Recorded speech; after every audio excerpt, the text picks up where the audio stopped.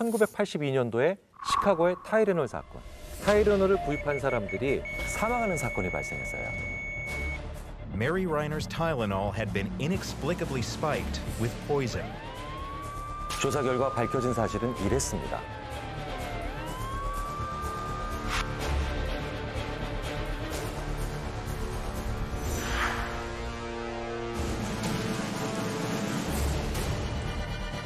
자, 그러니까 그 해당 기관과 해당 라인에서 생산된 타이레놀을 회수하면 됐겠죠. 아니요, 타이레놀 그렇게 하지 않았어요. 전 양을 다 회수했어요. 그리고 폐기했죠. 전량을 폐기한 거예요.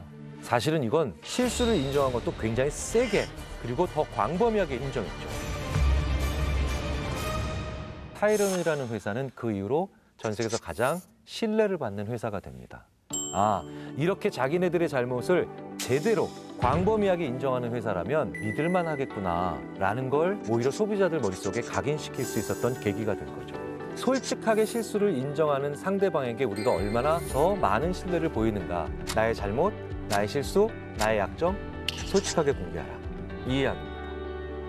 그런데 이 얘기를 뒤집으면 솔직하게 실수를 인정하는데도 받아들이지 않고 자기의 약점을 보여주는데도 거부하는 사람과는 관계를 맺을 필요가 없다라고 말씀을 드리고 싶어요. 저 이런 경우 많이 보거든요. 내가 솔직히 실수를 인정했는데 내가 솔직히 나의 단점을 공개했는데도 나를 받아들이지 않는다. 그러면 나 결국 받아들이지 않을 가능성이 높아요. 그러니까 이때는 그냥 포기해라 라고 저는 조언 드리거든요. 조금 더 여기서 또 뭘 붙여볼 수 있죠. 가끔 부부싸움 하거나 아니면 연인 간의 싸움을 할 때 왜 그 얘기 안 했어? 왜 나한테 알려주지 않았어? 별거 아니라서 얘기 안 했지. 이렇게 얘기하시면 정말 안 된다는 거예요. 근데 정말 이렇게 얘기를 많이 하세요. 별거 아니라서? 그럼 뭐예요? 나 별거 아닌 거 가지고 이렇게 화낸 사람이잖아. 나 별거 아닌 걸 그렇게 중요하게 생각했던 사람이잖아요.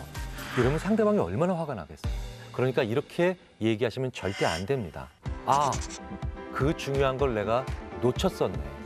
라고 얘기를 하셔야 돼요. 상대방이 왜 얘기를 하지 않았느냐라고 얘기했을 때 별거 아니라서 얘기 안 했다라고 하는 건 사과가 아니라 상대방의 생각을 더 하찮게 내가 보고 있구나라는 걸 무의식 중에 자인하는 꼴이 되는 겁니다. 그렇게 얘기하지 마시고요. 중요한 걸 내가 놓쳤어요 라고 솔직히 시인하시는 겁니다. 조지 워싱턴의 체리나무 에피소드도 마찬가지죠. 미국 사람들한테 굉장히 유명한 미담입니다.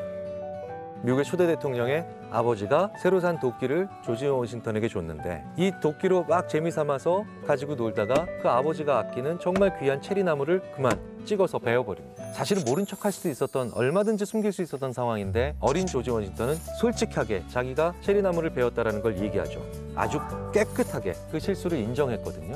아버지가 벌하지 않으셨죠. 그 아버지는 이 어린 조지 워싱턴 안아주면서 내가 오늘 체리나무를 잃어버렸지만 그거보다 훨씬 더 귀한 너를 얻었구나.